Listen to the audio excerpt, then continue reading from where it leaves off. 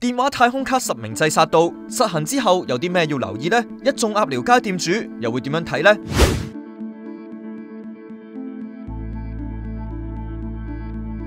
一定有留意嘅，咁但係就而家就未實到埋嚟，咁就未有影響住啦。暫時就，但係出年三月就一定有影響噶啦，一定就會有。咁預計就一定會少咗好多人買卡啦，定噶啦呢個就。咁可以應對嘅方法其實就冇嘅，其實冇應對方法其實。佢佢咁講咪有，都都要都要受嘅咯，都要都冇影響嘅都係。你揸三張又好，揸十張又好，啲人唔肯登記嘅都係唔肯登記㗎。你要登記嘅，始你上咗一張都登記嘅啦，都係會。你十張咁冇意義嘅其實。坦白講，你到時太空卡都要登記嘅時候，點咁點解啲人唔拎個上台咧？反正上台一樣啫嘛，都有登記嘅都係要上台。你上台嘅加加落其實仲平啲嘅，其實係咩年齡層都有其實好多好咩年齡都有就係、你老嗰啲就第一誒老嘅都有啦，後生嘅又有，中老年嘅都有。咁後生嗰啲就自己個 plan 唔夠，咁就出嚟買卡用啦，又唔想俾屋企人知道。咁嗰啲你話要第時要實名制，佢要同屋企人出嚟買嘅，咁嗰啲梗係嗰啲梗係唔肯噶啦。咁到時咪又係冇第一呢，你又冇冇條水路啦。其實咧，琴日誒嗰個記者會佢冇講一樣最緊要嘅就係點樣去取消個登記。張卡咧，如果佢一年用嘅，登記完之後，你你你量上用一年用一年嘅嘛係。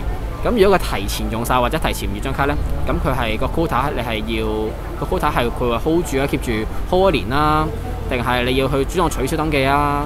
呢啲呢啲嘢其實佢冇講到，其實係起碼冇判額定冇咩意義㗎。其實對策都冇冇對策㗎，咁都係見步行步㗎啦，都係到時你有將能夠個場睇，可能到時其他國家出啲可以香港用嘅漫遊卡，可以可以香港用咁樣呢，唔一定嘅啲嘢係咪先？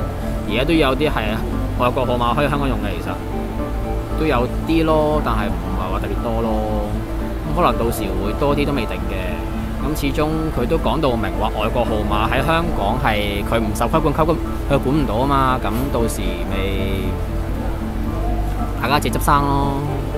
只能夠講係加快我哋呢一行嘅死亡，因為本身呢間未開關，其實我哋都生意係一落千丈噶啦。咁如果你再做埋實名制，其實我哋係可以叫做完全冇晒生意咁滯。本地其實都佔四成，三至四成咯，係啊。咁如果你話真係用家嘅話呢，多數都係自己唔夠流量，咁上台嗰張卡用晒，咁誒、呃，所以佢哋要再買卡咯。其實唔會嘅，只不過係會覺得麻煩咗嘅時候，可能佢哋會買一張，然之後就增值用噶啦。係啊，都唔敢諗。只能夠到時真係太差，我就真係只能夠轉行㗎咋。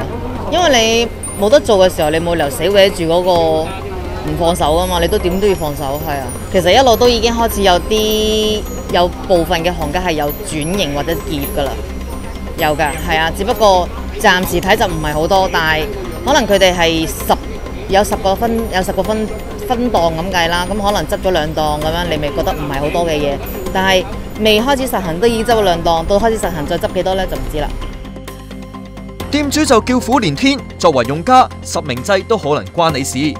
一齊嚟睇下電話太空卡實名制嘅一啲須知啦。